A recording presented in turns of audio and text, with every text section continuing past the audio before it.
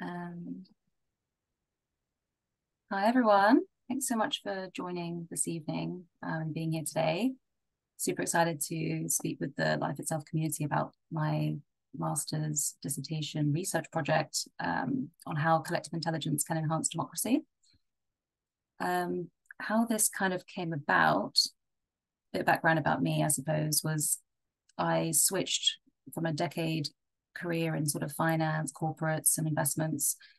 Uh, dipped my toe into politics in 2021 to run for London Assembly. Um, and 2021 was quite a pivotal, really uncertain year where it was the first year out of Brexit, out of the EU for the UK, and um, in the midst of COVID. And there was all these other social uh, marches going on around the the kidnap of Sarah Everard and the kill the bill. So it was just a really, really uncertain time and I just saw a complete lack of leadership in our government. I didn't feel represented. I didn't I didn't even know that there was this assembly of 25 people having lived in London for 20 for 10 years. So I thought I just need to take a stand. Um, that led to me doing this, taking on this master's, which was a two-year part-time course. I think there's some colleagues or classmates on the call today. And um, the first time I joined a Life Itself presentation was was Marc Santolini's one about contemplative citizen science and collective wisdom, and it just really, really inspired me. And yeah, was grateful to be able to speak with him and also another interviewee on the call, Tom Atlee, who's, who's an author, philosopher, activist. But we'll come to that later because um yeah, I managed to speak to both of them as part of my interviews. It's really ex- interesting and exciting to have both on the call, and maybe there'll be future discussions to be had. So just going back to sort of the problem I wanted to tackle in the first place, and this goes back to just democracy. And I think there's a lot of people joining this call from all over the world, uh, US, Ukraine, Europe. Um, and I guess just quick hands up, does anyone believe that either the country they're in now or the country they call home is a healthy democracy?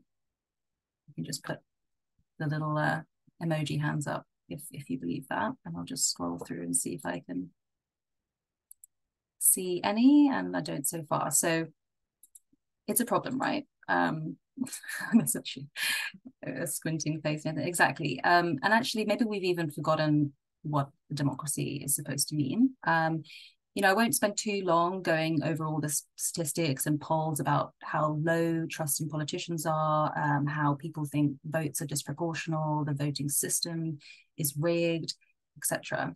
Um, but what I'd like to propose is that we shift the way we view democracy towards voices, not votes. Um, so the history of elections in general, actually, elections have been around for just a few hundred years whereas democracy as a concept has been around for thousands of years. Um, and actually, the whole definition of democracy towards free and fair elections was actually just post um, the UN Declaration of Human Rights in 1948 in the context of after the World War, um, where, yeah, it was down to states to try and define democracy in some sort of mandate for power for them to, I guess, retain and um, continue control over society and over so-called world peace. Um, there's a quote by Churchill, for example. He said, how, you know, how is that word democracy to be interpreted? My idea of it is that the plain, humble, common man, just the ordinary man who keeps a wife and family, who goes off to fight for his country when it's in trouble, goes to the poll at the appropriate time and puts his cross on the ballot paper, showing the candidate he wishes to be elected to parliament. That is the foundation of democracy. But is that it? So between elections, you know, which is every four or five years in some cases, how do we actually have a say in what goes on in our society, in our communities, and what's actually forcing our representatives to listen to us and respond? Um, and the problem with having an electoral democracy is that this infrequent single point of engagement can be extremely distorted by the information environment. And we've seen that with especially 2016 when it, when the Brexit referendum was about, when Trump got elected, and there was all these things about fake news, Cambridge Analytica, social media algorithms, etc. Um, so you know, I won't delve into that in too much detail again. We kind of already know how much our information environment is distorted and manipulated, but it's just worth remembering and keeping that in mind because it's not going to change, and the only thing that can change is how we operate in the system. So there was this deliberative wave that was um, giving rise to a lot of citizens' assemblies across the world, mainly in Europe, uh, more so Europe than the US and UK, to be honest. And um, the OECD had a really good deliberative um, tool bit, toolbox frame framework and how other people can set up these citizens' assemblies. Except COVID obviously stalled all that because people were unable to meet in person. And what is collective intelligence? Let's just hit that nail on the head before we continue. Is essentially collective decision making. And obviously, when we have a deliberative democracy, it is moving towards collective decision making. And in the digital age, in this information society, collective intelligence is a technologically enabled way to make these collective decisions. Um, and these are kind of, you know, and actually collective intelligence, we see that in natural systems too. Um, whether that's, you know, like a, a murmuration of starlings, whether that's slime mold potentially you know there's a lot of examples in nature where they and obviously mycelium networks is one is one huge example the biggest living organism on earth you know and all these natural systems are able to operate using collective intelligence. And so how come humans if we're so-called really intelligent and complex um, aren't able to do the same? Um, so my research actually evolved um, as i mentioned my master's was two years part-time and initially when I submitted the research proposal, it was focused on this collective decision making. And I was really, you know, excited by some of the technologies I was seeing to be able to, yeah, aggregate or create consensus between hundreds, if not thousands, very scalable amount of diverse inputs. Um, but something that happened between that time, of course, is the release of ChatGPT and LLMs. And as you know, ChatGPT was one of the fastest ever adoption of newly released technology. I think it had so 100 million signups in two months. I don't know how many of us here use it on a frequent daily basis, or at least have tried it. I'm sure most people have. Um, and the advancement of this sort of AI and LLM technology is just advancing at a scale that we cannot ignore. But what are the implications of that? So some of the studies I've seen, and as you can see, the dates of these, and that's why my deadline is on Friday, but a lot of these papers were coming out June, July, August. That's that's the speed at which the technology has been released and it's already been incorporated in these studies um, around, yeah, how can we use them in these collective decision making, um, in these deliberation environments. And what I was noticing was that a lot of them would say use the word empower, you know, empower the public, uh, empowered agents here on this this um, study where they actually try to simulate an entire social network that we can revisit that later on. Um, you know, for so for example, Polis. Uh, I don't know if anyone's heard of this uh, tool before. This platform. Um, I'll feature it on on a next slide, but it actually came out in Taiwan back in 2014 as part of the Sunflower Revolution, and it's been used in their sort of vTaiwan digital democracy for many years, ever since its first successful sort of release. And it's been used to decide on policy from, from Uber to alcohol sales amongst amongst the um, people of, of Taiwan. Um, but one of the co-founders, uh, for example, this late this latest study is by one of the Polis co-founders, and now they are backing up the Polis platform, which is a very kind of simplistic open source technology with LLMs, and obviously the features are just exponential. Um, but then what I was seeing was that actually it was maybe going too far ahead and losing the agency of the human participant in the sense that, you know, we can start simulating, predicting, recommending, vote prediction, um, and just, you know, some of the features of some of these studies. I saw, you know, there were some time limits on people's input, and actually they'd be excluded if they, um, you know, didn't contribute in time. There weren't any external sources given to participants um, to increase their knowledge. Meanwhile, the machine or the AI was being trained and being fed external in information to to learn. So that's another point around sort of human versus machine learning. And, you know, one quote in the study, for example, that says, you know, they were asking LLMs to explain themselves, which proved valuable for improving their results and understanding their behavior. and you know this is just kind of the direction that technology is going in or how people are advancing ai is that this sort of these features of introspection learning and understanding is emphasized for the benefit of the machine rather than the human um, so this slide just kind of you know going back to the magic of coming together as humans as people. Um, you know back in the back in the day there were these world cafes. I don't know if they still exist but i think tom who's on this call he raised my attention to, to these. And you know there's things like empathy tents apologies for the uh, slightly grainy image. I mean maybe because it's so old that people don't do anymore but you know how great would it be if these were set up around town you know um, the people speak is a very local to me in east london um, I don't know if if Mikey's on the call, but they featured in, in my research as well. And and we, we all know, right, what it feels like to be in the presence um, of others in real life. Um, so it's just that contrast of like where the studies of LLM driven deliberative technologies is going, which is sort of further and further, well, I see it to be further and further away from the human participant.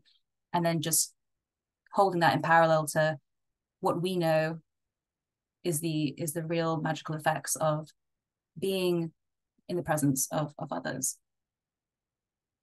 So yeah, this is a bit of a journey. I was trying to find a photo of maybe me during the politics campaign, but I just looked really stressed, pale, and and so I thought I'd just include one from Bali. And because I managed to do the last two terms of my master's remotely out there, and actually I saw so many things to do with community practices, um, you know, which is lacking uh, in in London, in East London, so that, there was actually a lot to learn from, from Southeast Asia, which I'd love to bring back here. Um, so how my research kind of narrowed down, having seen all these things happening and happening quite quickly and happening right now, um, and focusing in on this concept of empowerment. Um, and obviously, considering my journey, having run for the London Assembly because I wanted to take a stand for the for the people, I didn't feel like we had any say, any power. Then I'm seeing these studies driven by, you know, advancements in, in AI where they are saying they're empowering people, but actually in reality, it looks like they're empowering the machine over the humans.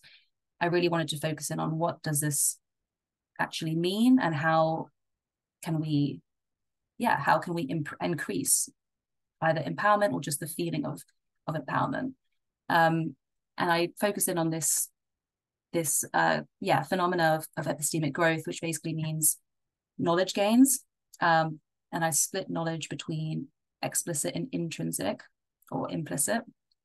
And that's essentially the difference between yeah knowledge that we can see factually represented around us or that we gain and then there's implicit knowledge which we might not consciously be fully aware of but we know it to be so from experience um, maybe subconscious bias and implicit knowledge can be induced into into explicit knowledge through certain practices. So yeah, maybe that's contemplation, reflection, etc.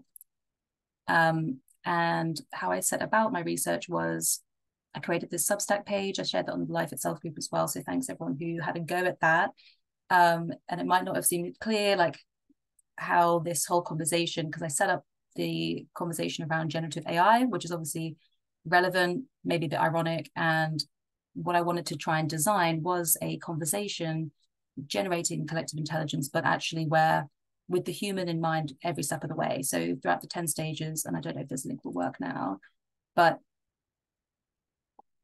um, throughout the 10 stages, kind of, you know, going through various sort of learning materials, um, being able to go onto this Polis platform. And this is a snapshot just this evening of where the consensus has has, has gone um, amongst all the statements. But then, yeah, just making sure that when the participants going through this exercise, before submitting their statements and voting on certain views or submitting their own views, they are as informed as possible. I put some meditation videos in there as well. So there is the opportunity to reflect and kind of think or question why they hold something to be true. Um, and yeah, and then obviously I'm actually less interested in what the outcomes of this Polis platform is because I'm obviously focusing on the human experience and whether they felt like they learned anything, whether um, interest increased, and this this feeling of empowerment basically without actually explicitly calling it that because I'm exploring um, yeah, what could what could drive that? So the other aspects of the research was creating this chatbot um, in lieu of an in-person human facilitator. There's this um, sort of relational theory called imago-rational relational theory, which is actually already started to be uh, practiced on European politicians, which include features such as mirroring and um, validation. So, kind of again, ironically, using generative AI and ChatGPT to create these feelings of, of to, to create the features of mirroring and validation. Um, I set up this this chatbot at one of the final stages of the exercise where you know people who are participating remotely or fully online, they can put in their statement and then this response will come up saying, I'm hearing you're expressing this. Have I understood you correctly? Um, you know, and there are actually studies to show, even though I know it sounds like that movie Her, maybe, but there have been studies of like mental health chatbots that work, you know, very well uh, with with people that, you know, talk to these, yeah, talk to these chatbots and actually still feel uh, some sort of bond or some sort of empathy or just feel understood and listened to. So there is real opportunity there for maybe for chatbots just to create that sense of feeling heard and listened to. Um, yeah, in lieu of the human facilitator and in lieu of, you know, as we know, probably very over overstretched counselors or mental health therapists um, at the moment. So there was this chatbot feature. And I also went to a couple of events. So there was this Regents Unite um, conference or gathering, as they like to call it, with a lot of sort of environmentalists, uh, but then crypto people.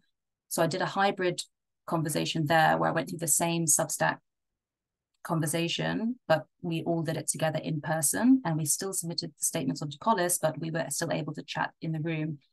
And then the third final end of the spectrum model was this people speak um, on the on the bottom right, which was fully in person, no Polis statements, just a pure, fully in person conversation.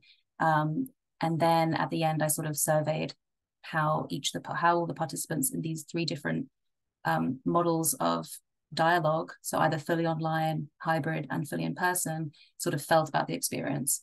Then I also carried out some interviews, which we'll come to later.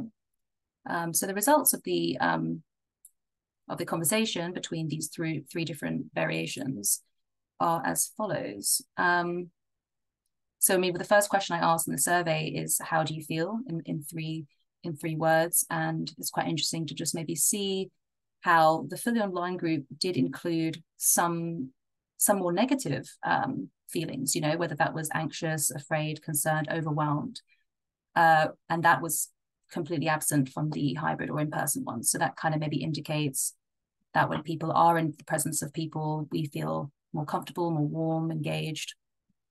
Um, and the other results about, yeah, we had, I tried to test for full expression or full inclusion, as in on a scale of one to 10, how much did you feel that you were fully able to express everything you wanted to say? And how much did you feel that you were um, heard? And as we can see, the in person kind of trumps that.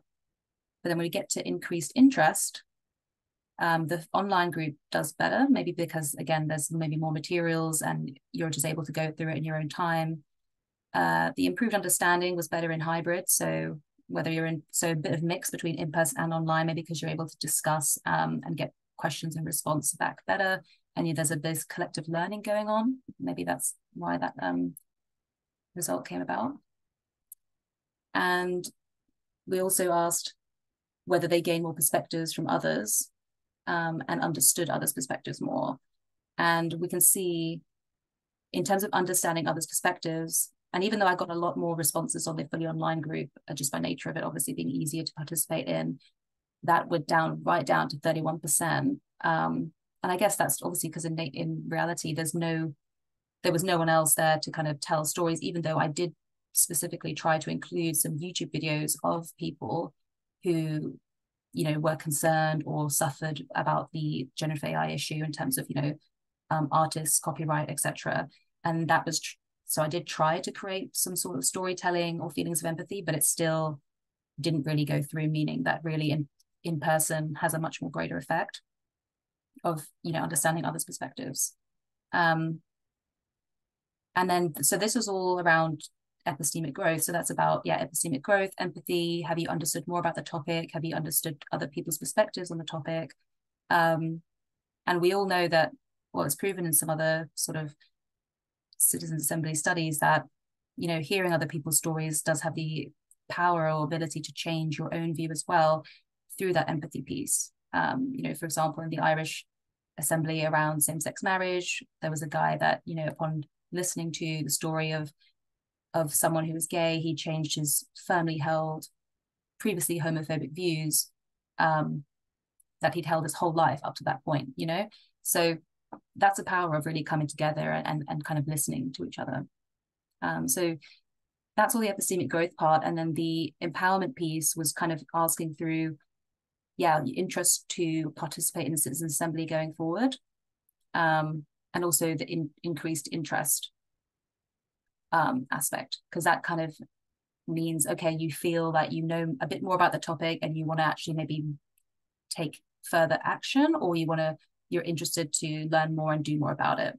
Um, and actually, the again the interest to participate in a citizen assembly going forward was actually fully uh, yeah there was more full votes for that in the hybrid and in-person um, results. And but actually the trust to, to, of the outcome of citizen assembly to trust the outcome of that more than an elected representative was um, higher in the in the online group meaning meaning that yeah even though you're participating fully online um, you kind of feel that actually when you're given with all the information or as much information um, and you're going through this exercise that actually yeah you trust other people to make that decision more than um, the elected representative. And yeah in terms of deliberation quality decreasing online everyone kind of thought the same but it's not too bad. They're just kind of on the fence about um, about this. But again i think technology has the ability to to really enhance this if we design it and, and intend it to be to do so in the right way. Um, so yeah, the interviews were the super interesting piece of it. I'm still, it took a while to transcribe everything because they were a few hours long and I had a really good um, just kind of range of perspectives from all around the table of the debate. Um, so in alphabetical order, we had we had Ben from the Sortition Foundation, Marc from Learning Planet Institute, Northeast University, and Life Itself, um, Mikey, who's from the People Speaks facilitator, and and Tom, who's also on this call from the Co-Intelligence Institute, um, and anonymized a guy from a big tech big tech firm who I've just used with the little picture there. But so we all know Marc, Tom is in the in the top middle, Ben is in the bottom left, and Mikey is in the in the bottom center. And just trying to kind of analyze the outcomes of this. And I didn't use AI to create this, but I'm sure again there's a tool out there maybe it's not free. I'm trying to thematically group everything that came out of these conversations. But for the purpose of this call, I'll just maybe discuss a couple. So the first theme uh, is we see, or that I, that I saw emerging, was just talk around the collective and not the individual. Um, and it's just really interesting again, just how varied everyone, everyone's backgrounds and, and work is. We all end up kind of, kind of coming to some, you know, similar understandings or um, just knowledge of what we know to be there what and what exists. So for example in terms of you know the collective not the individual you know there's inter- interdependency not independence um, and then how you know we talked a lot about systems change and actually you know tom raised the perspective that we should um, you know talk about it as a whole. Uh, it's not just individuals and actually the whole system is the starting place. You have to deal with the whole system. That's the unit that you're working with, and the people are in it that become a significant piece of that. Um, and then you know, Marc, and then that kind of links slightly to that whole meta modern piece that Marc brought about, describing how you know pre-modern was very subjective, modern is overly objective and deconstructing. Then meta modern is a meta posture where you know you're constructing a story and I'm, I'm presuming maybe that's collectively, you know, oscillating between objective and subjectives, but we do that together. Um, and then there was also, you know, Ben raised the issue that there is also the risk that if we focus on empowerment, um, individuals can actually risk prioritizing their own empowerment over the collective, which will be the counter effect of these things. So again, it just seems a lot more moving towards the collective and the whole.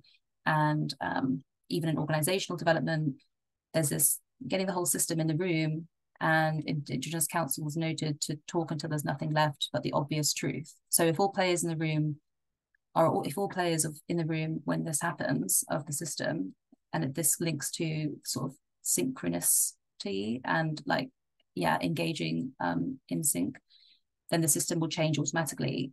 And that kind of relates to how Marc said that, yeah, I doubt the ability of asynchronous methods based on the historical needs of early nation states and the need for an institutional religion that allowed for this synchronization processes like rituals to achieve a wiser state. So, you know, as we are becoming less religious, there's maybe less reason or, you know, to gather as a community, but maybe we can think of other reasons or practices um, for us to sort of congregate and, and get together and just kind of get these sort of ritual practices back in place um, systemically so we can act act as a whole.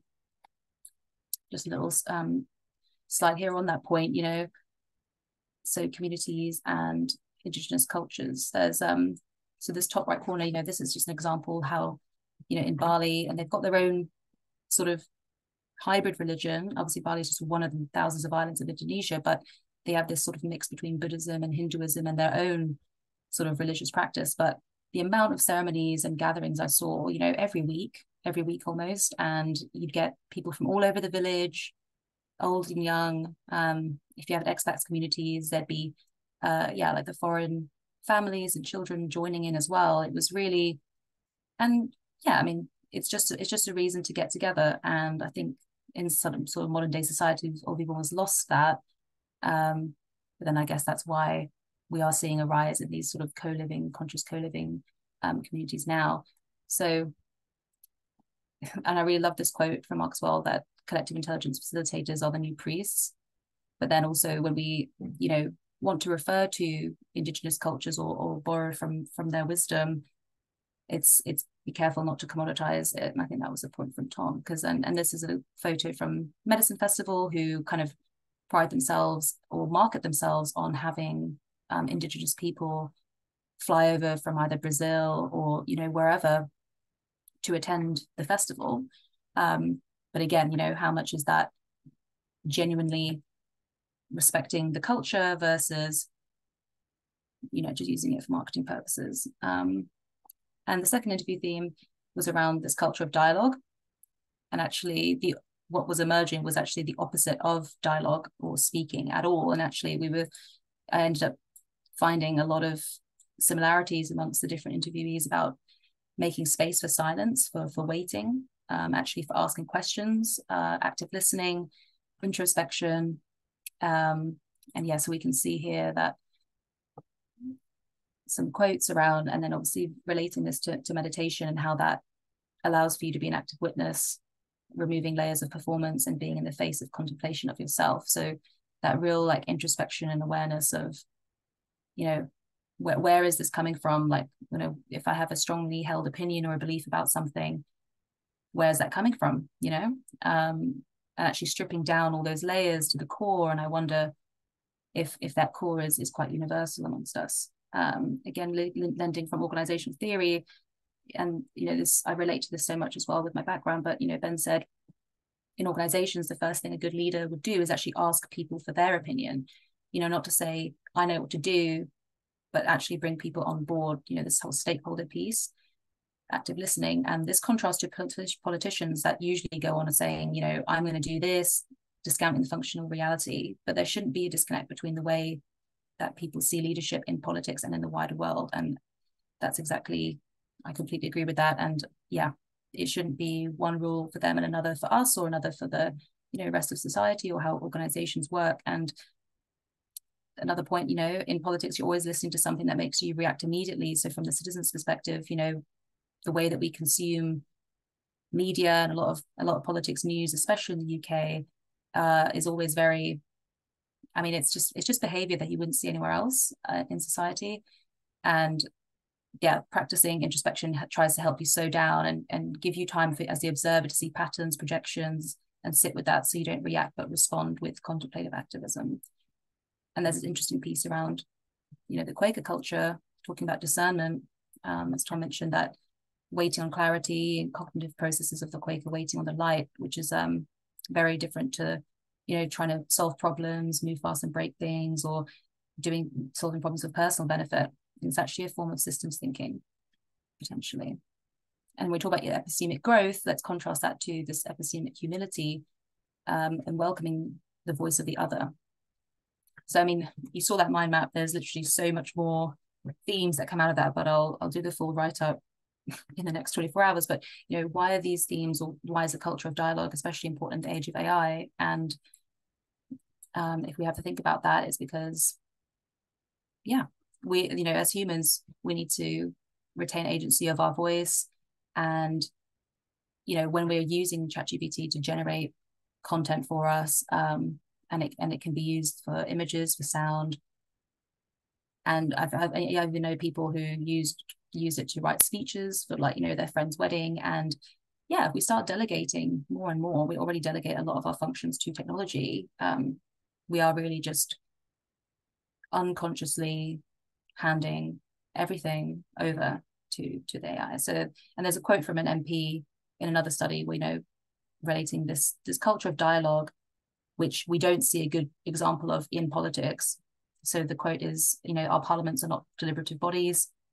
They are conceived politics as a zero sum game where one party's win is another's loss. And what you typically get is debate and conflict rather than solution finding in the common interests. So we need to drastically change the way we decide our future if you if we want it to be a fair one.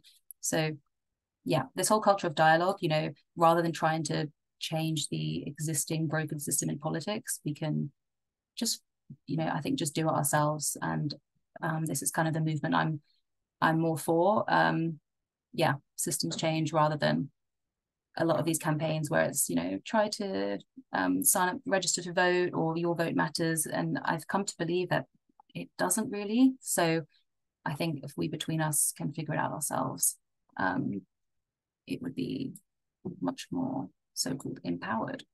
Um, so these human-centered elements of democratic, democratic deliberation um, have arisen, and this is the sort of ongoing question that I'd like to sort of discuss or explore further is, yeah, how can any of these features be replicated online? And I guess the investigations I did across the three different modes of collective intelligence conversation, it shows there are still there's still a lot to be learned in a fully online um, in a fully online deliberation or dialogue, but focusing on these sort of human-centered elements should be the key starting point. Whereas the tech first, as opposed to the tech first starting point that I saw with other studies, and that's where, yeah, they're training and learning the AI or the machine ahead of the humans. Um, so yeah and i think because that, yeah again at the end of the day deliberation is a better form of decision making than than than single input voting um so yeah i'd like to just maybe maybe take a pause here and and this concept of empowerment you know what what does that mean to you? And does anyone have any thoughts or ideas or or initial responses or reactions when they hear that term? I mean maybe that term isn't appealing to, to some people but um, presuming that it is or it is something to sort of strive for in in a democracy for people to feel empowered in a democracy um, yeah what does that actually mean? And i think it is important to have a think about this because i didn't see across the study so far sort of accepted definition to be honest. Um, but yeah so what does empowerment mean to you? Maybe you can just put some words in the chat. Thank you bella. Yeah if everyone wants to um try and use the raise hand tool at the at the bottom of the page and then we can kind of go through if uh, people wish to share. Um, yeah, no, thank you so much for presenting and definitely some interesting themes and curious to kind of dive into the discussion a bit more about this. Yeah. Um, um, yeah, this slide just quickly goes through how is a shift in some of the key words potentially. So yeah, public spheres from political theory and maybe that's shifting into collective intelligence. But when we talk about judging, we can move this to presencing, from reaction to reflection. When we talk about equanimity of the mind, that's actually somewhat similar to consensus in decision making because it's lack of active objection and the sort of just sitting or the balance aspect of it. Echo chamber to resonance chamber. So yeah it's all this just like shifting paradigm basically and how and how we see how and how we see things. Um and yeah this kind of we can end on this slide before the, yeah open up the discussion and i just kind of thought about this um this concept of yeah when we when we go when we go inside actually and go deeper into the silence there's and in contemplation and, and introspection etc we just realize that we are all part of the same source um, and the same source of tree of life. And actually from the outside if we're just these different leaves maybe looking at another leaf further far away higher up wrinkled closer to the sun we think oh they're completely different to us but actually we're all connected to the same source.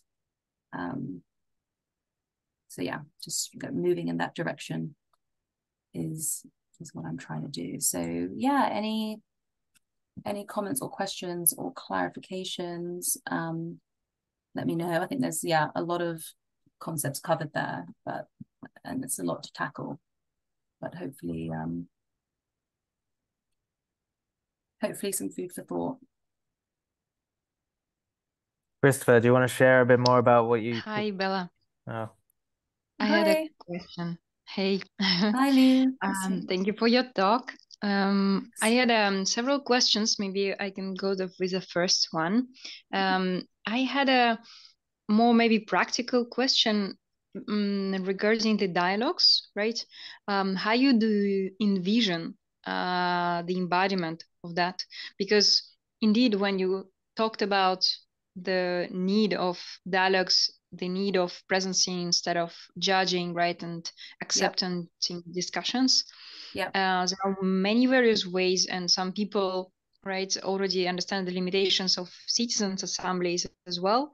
Yeah. Um, in that, so would what are your thoughts about that?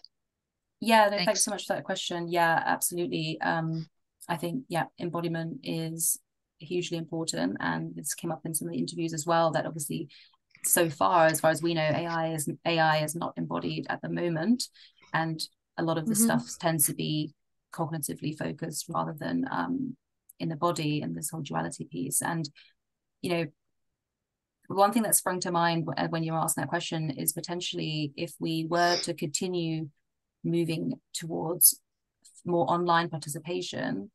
Uh, and again, it's about using technology to enable or enhance our experience you know it's not just phones and, and laptops and apps like we do have these vr headsets i have seen one step further of that where people have these sort of like joysticks or something on their hands and things like that so that Mm. can help the physical engagement but i don't think so far as i've seen and this is interesting to ask others if they've or what others think but i don't think again that technology hasn't necessarily been designed to participate in a connective way with others or other players or other you know participants. It's more just how you know you in this virtual reality environment for gaming etc but maybe there is something there to yeah create this um, environment and your body responds because you think you're in this in this room in this forum you know maybe we could have a vr set up in a park, you know, this like sunny park looking at the tree, and we all just gather in this park to have a debate when actually in reality we're in UK, US, Europe. Um yeah, and there's a comment here about Mhm. empowerment for me is about being provided with knowledge and tools. Yeah, thanks so much, Ryan. I mean, so this oh, we're on to a different question now, but um does that answer your question, sorry, Leo, about embodiment? Um, I think I asked more. I asked more about formats, though, not about Yeah. technologies per se. About Sure. formats. If you if you have some alternative to citizens assemblies for uh, formats of facilitation, Mm, because like the people to speak, DMSOC, or like all these initiatives, for example, they experience right yeah. that whenever you experiment experiment with that with the social technology, mhm. then it actually can uh, maybe have a, give you an idea for other um, possible formats. Maybe Yeah, I mean, for sure. I mean, there's all these like relational embodiment workshops. This came up a lot in interviews too. I'll, I'll send some links in a bit, but you know, these these do go on. But again, whether those like much more in person, much more yes embodied and connective and you know physically in close proximity with each other. But those forums or are they're not necessarily with the objective of collective decision making. Does that make sense? That's probably more for mm. right. So so yes, that does exist, but uh, at the moment, there hasn't really been um, the objective to, to tie those practices with mm-hmm. with democratic decision making, etc. Because yeah. again, it's all been about yeah. Yeah. Um, thanks. Yeah, thanks. But I'll send you a link about relation and mm-hmm. embodiment separately. Um, and yeah, thanks for the input about empowerment, about from Jez Ryan saying that yes, it mm. providing with the knowledge and tools to make an informed decision and engage in action with autonomy. I mean, yeah, that's basically paraphrasing the only definition of empowerment that I could find, which was by the OECD. So yes, it's about increased political capacity and how if you feel enabled or yes, with the right tools, equipped, etc., to actually then take action in your own hands. Mm-hmm. Yes, thanks for that. Um, Thank you. And Woody, did you say something? Did you have your hand up? Yeah. Hey, yeah, I did. Thanks um, for patience.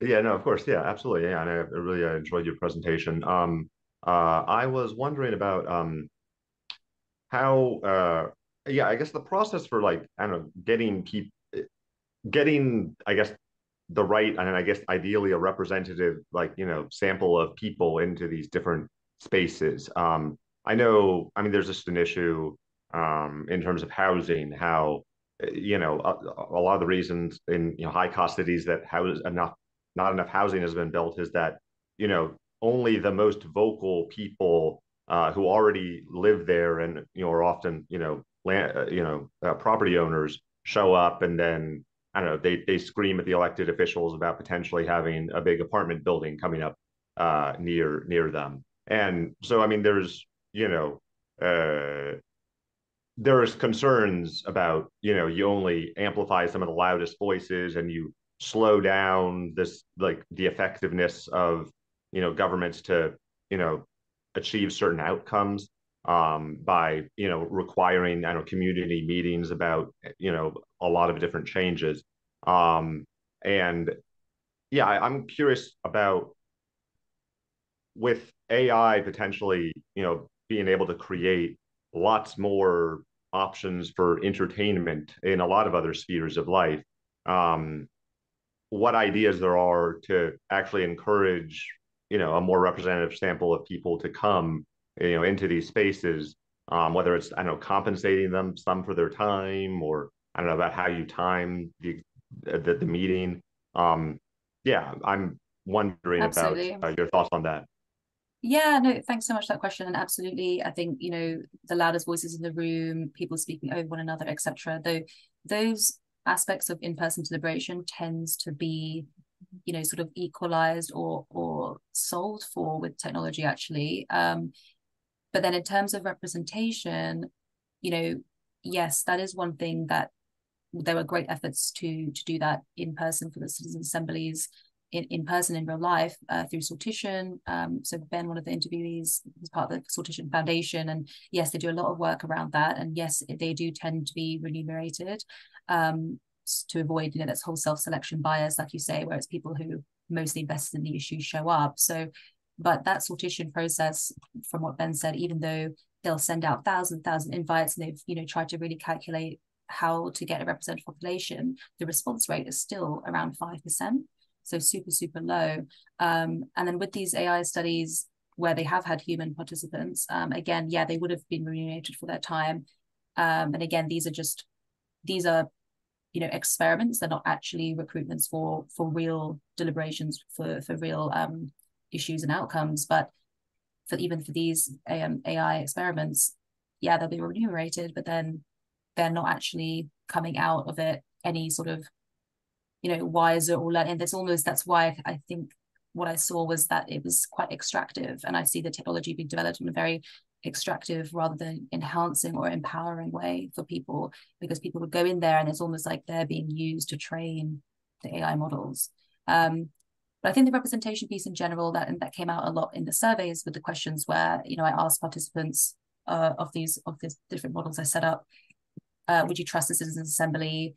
Um, more than your elected representative. And a lot of the comments would say, I wouldn't trust a citizens assembly because I don't think it's fully representative or unless you know things like that but then when we talk when we talk about representation i think we've just got to compare with what we've got right now and you know there is a lot of studies to say or if you just maybe reflect uh, you know for, for oneself if i knew that my local community and that people speak for example there were so many different people around that table. You know there was a there was a transgender person there was mother there was BAME there was everyone you know and if the if that group of people came up with a solution to save housing in my local community i would trust them more than i don't even know who's the local councillor to be honest with you of my constituency again you know so i think we've just got to compare it to the current situation and just if it's a little bit better it's just a step in the right direction um, thank, thank you. Yeah. Thanks for. Um, I've got a few comments in the chat. Yeah. Yeah. So citizen assemblies need to be well facilitated. And yeah, compared to most national politicians in the US who are white male millionaires or zombies. I don't know. I'd like to say a bit about like um empowerment as well. Um yeah. I definitely hear like empowerment is like having the tools and resources to really maybe understand and engage in a topic. Um, personally, I feel most empowered when I'm engaged in topics that are relevant to me and my skills rather yeah. than being engaged in everything. Yeah. So I kind of get a sense that, um, you know, the idea of enhancing democracy is allowing more people to engage with more topics. Um, and in that sense, I actually, you know, maybe there's a possibility that AI is able to enhance that as well by providing the extra knowledge. Like for me personally to mm. understand and engage in certain topics which i do not have the knowledge or the understanding of would be very difficult. And so to have lots of people with little knowledge about certain topic engaging in and voting on in a very specific way yeah. would not necessarily be valuable for society as a whole no completely agreed. And um yes and, and to that point and yeah so if i didn't make it clear but i guess that's why i was focusing on that epistemic growth bit because you know when we talk about collective decision making in this assembly how are these how are participants well informed or have the resource available? And yes ChatGPT or AI can really help with that learning process actually. Obviously we adults or anyone we've all got different ways of learning and that's you know well beyond the scope of the study but that is definitely something i think ai and technology can help with. So yeah that whole learning piece that so-called epistemic growth piece before we make those decisions and if we know that that learning phase has been effectively carried out ahead of the collective decision making then maybe we can trust the outcomes a bit more. And again compared to how decisions are being made, say in Parliament right now in the UK, for example, and it's it is still about you know voting on bills, and you've got this diametric. They're not sitting around a circle in Parliament, right? They're well in the UK, they're opposite each other, shouting at each other, and you know again, it's just it's the, the issue is so bad that we can't get to the ideal stage straight away. We just have to start making steps and you know as as a society or as citizens like how can we just set a good example um, ourselves and this the technology or this this sort of like debate around the collective intelligence decision making and in human centered design uh, for these discussions don't just necessarily have to be applied for uh, political national state you know decisions. You know as we're talking more about these uh, you know conscious co-living spaces and communities as we're setting these communities up and as these communities are growing how are we making decisions within these communities we all need, yeah, collective decision making approaches. So this can really be applied and a step towards that. And that's also a form of taking matters to our own hands. Um, oh, one other a quick comment in the chat from Tom. So the whole issue with empowerment comes up in our embattled majority and culture when we need to be moving towards consensus. Yes, regenerativity and reciprocity, which is the whole of paradigm where power shifts from power with to power with. Yeah. So when power shifts from power over to power with, power from within, and power from among. And that's, yeah, I think it's really interesting. This, yeah, that power from within, and then comparing that to obviously the contemplative citizen science um, work of, of Marc uh, and his team. So, yeah. And how, yeah, how AI can serve that is a totally different question. But exactly. And I tried to do these, like, yeah, mirroring or validation chatbots or it's first step but again it's it's a very thin line with with sort of with agency. Uh, matthew did you have your hand up? Thanks. Uh yeah i just wanted to say one thing. The thing that kind of resonated with me with this talk the most i think um is that i feel like a lot of these conversations like necessarily deal with problem solving. And it's like what problems are being solved like whether it's a community whether it's a, a nation, and I think probably most of them have to do with like resource distribution. But I feel like uh, problem solving is is an important way to kind of contextualize these conversations, which I think like really, really, really, really, really need to happen because like it's not it's not a good problem solving mechanism or it's not a good problem solving uh you know system that we have like the problems that we are solving and like how we're solving them so i think especially when like talking about democratic processes and like including voices i think a huge part is like what problem is being solved whether it's like on a community level and how we're solving that problem i think i think okay. for me that kind of stuck out the most but i really i really appreciate this talk a lot there's one um maybe i'll just throw a quick resource in here there's this one organization called i think it's called new public but they're and I think they're USA based and they kind of focus on like enhancing public discourse a lot. And I think mm-hmm might be a good organization to reach out to. Yeah, I'll, I'll look them up. Thanks so much. But yeah, no, that's a good point, right? The decision making doesn't just have to be about problem solving. Resource distribution is a key one as well. And as we're moving more towards yeah self sufficiency, etc., um, that's a really good point. Well, I think hold on, maybe I could just. I mean, no, yeah, yeah, but there's other ways.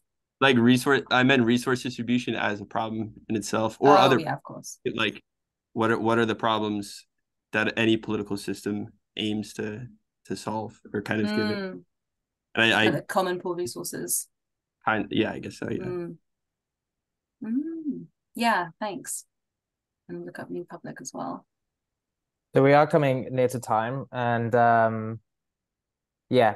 Before we close, if there are any other kind of comments that people want to share, feel free. In the meantime, um, I also wanted to share that um, next month in October, we're actually having a month around uh, value based conversations, uh, which I think is quite pertinent, and particularly around this research and us coming together and having conversations about kind of like problem solving, but also coming from our values and and sharing about and knowing our values and sharing from them. Um, so next month will be kind of yeah quite exciting. We're going to be having like uh, weekly Zoom calls or breakout rooms where we'll be discussing about different values with people that we don't necessarily know, um, which I think will be very valuable. um, mm. Yeah. And Exciting. also on Monday next week, we are having a screening of The Great Turning by Joanna Macy. Uh, it came up recently in the WhatsApp chat, um, particularly around kind of sentiment and narratives around climate change and like how do we like what narrative is most useful for us moving forward as we kind of approach these these huge problems? Um so yeah that's on monday. I will share it in the whatsapp chat. Um and also here lauren do you have the link or should i just go and find that quickly? You're on it. Thank you. And... i'm just yeah i'm just trying to find it so i'll send it to you. Yeah. Um yeah christopher go ahead Um, uh, yeah, I, I, mean, just on this sort of subject of um, uh, of uh, values, um, I, I, mean, my uh, my experience of people uh, arriving in a kind of conscious community is uh, there's a very substantial kind of period of adaptation where like previously the in kind of normal society there is a sort of uh, a kind of range of emotional authenticity that's just not permitted or allowed or, or just kind of paid attention to. Uh, and um, yeah it can be um, quite uh, a, a, change for people to adapt to that they're their feelings are actually important and it's actually valid to kind of express your your feelings.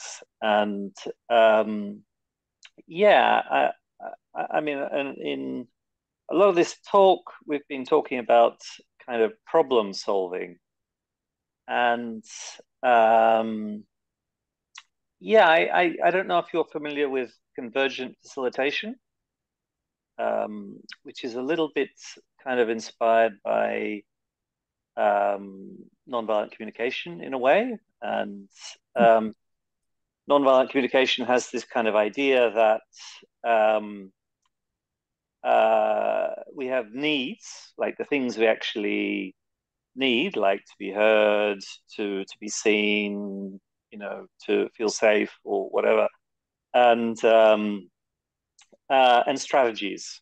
Um, and you know our, our strategies like no we we we we you know we can't possibly um i don't know go to the park today you know it's too dangerous or, or whatever. Um uh, and it has this kind of idea that um strategies can conflict but but their actual underlying needs uh, are much less conflictual and uh, facilitation kind of takes this sort of um, inspiration of um, trying to kind of refine people's um, needs to non-conflicting essences. Anyway, my my point is that um, you know if if you if everyone has kind of equal power and rank and the same information, then actually converging on decision decision is I'm not going to say it's easy, but it's it's it's not necessarily difficult. Uh, and that in my experience, a lot of the difficulty happens when um, you know, for example, people are holding on very tight to a particular strategy about what they think should happen, and they're not very conscious of what the actual underlying emotions or needs are about that and I, I, I think this is kind of something that's kind of happening in the sort of polarization that we're kind of seeing in society that uh, people are um, uh, you, you, know fighting for segregated washrooms without really understanding the, the, the kind of emotional landscape that, that kind of underpins that. Uh, and so yeah part of the you know first steps are emotional literacy, you know, being able to listen and all that kind of stuff. Yeah, and, and anyway, so I, I, I kind of won't go into it sort of too too deeply, but the thing I'm kind of really interested in is okay, well, on a mass scale, how do we develop people's emotional literacy? You know, their ability to kind of understand themselves, um, uh, and uh, yeah, I, I, guess much less than kind of AI tools. I'm, I'm kind of quite interested in techniques like acceptance commitment therapy, about developing emotional uh, psychological flexibility, this, this this kind of stuff. And yeah, I don't I don't necessarily see AI as a kind of path to doing that, but there there are some apps that are trying to, you know, do this kind of stuff. Like 29k has as a whole uh, is a platform for for kind of developing uh, yeah all, all, of these kind of personal internal skills to understand each other. Yeah anyway so th- that was that basically it that I, I, I, see a big kind of impediment to um, making decisions collectively on a large scale is is the um, the sort of level of personal development that uh, people have. Hmm.